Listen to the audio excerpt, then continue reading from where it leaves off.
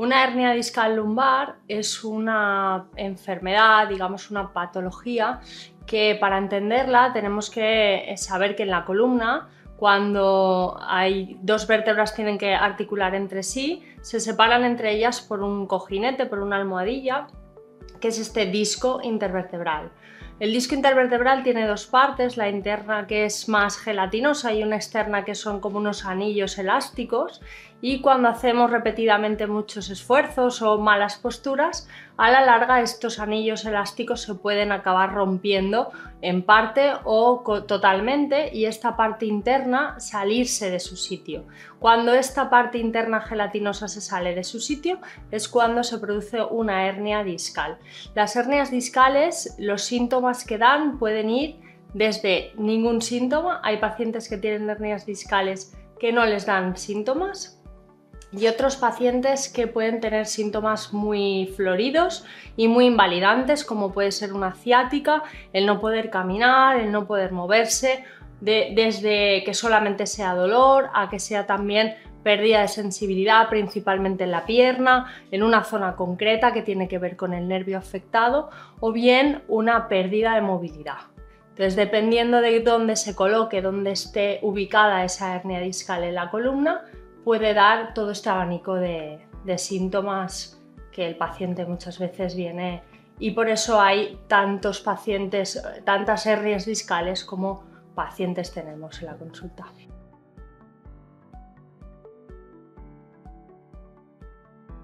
La neurocirugía en este tipo de patologías, de problemas de, salud, tiene un enfoque un poquito más conservador, me explico. Eh, las hernias discales históricamente se han tratado de una manera bastante o bien agresiva o bien estática, es decir, o hacíamos mucho o muy poco. Y desde hace unos años, desde el punto de vista neuroquirúrgico, se tiende a tratar de manera mínimamente invasiva, con lo cual tenemos un abanico de posibilidades de tratamiento en los que el paciente no se expone a un riesgo muy elevado de una gran cirugía, pero que permiten ir resolviendo los problemas, como digo, en función del tipo de hernia que tenga cada paciente.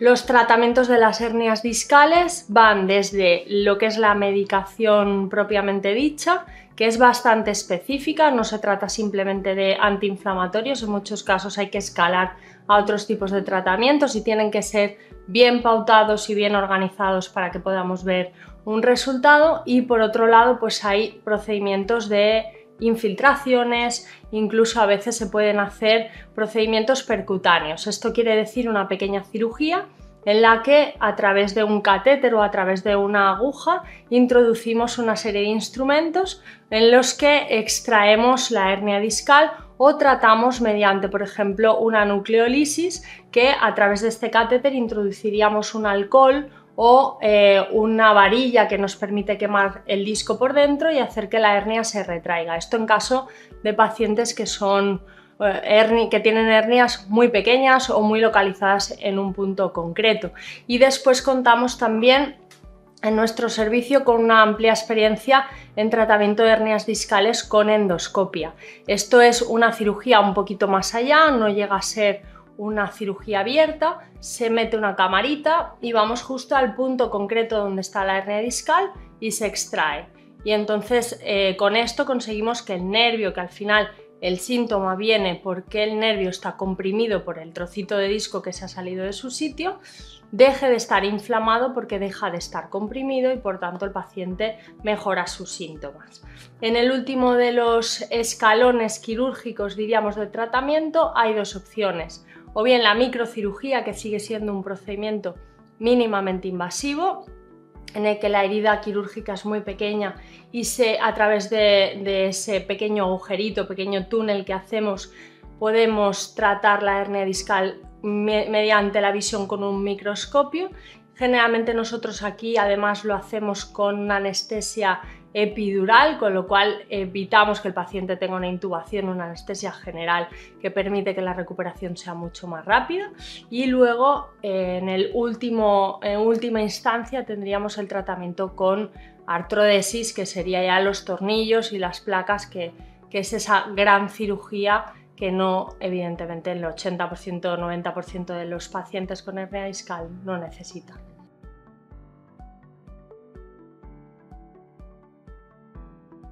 Las expectativas que tiene un paciente cuando lo tratamos por una hernia discal sencilla, sin más, que no haya ninguna otra enfermedad asociada, generalmente entre los primeros 5 o 7 días suelen mejorar su dolor prácticamente en un 80% de intensidad, con lo cual ya les permite hacer mucho más de lo que hacían antes. Sí que es cierto que siempre que em,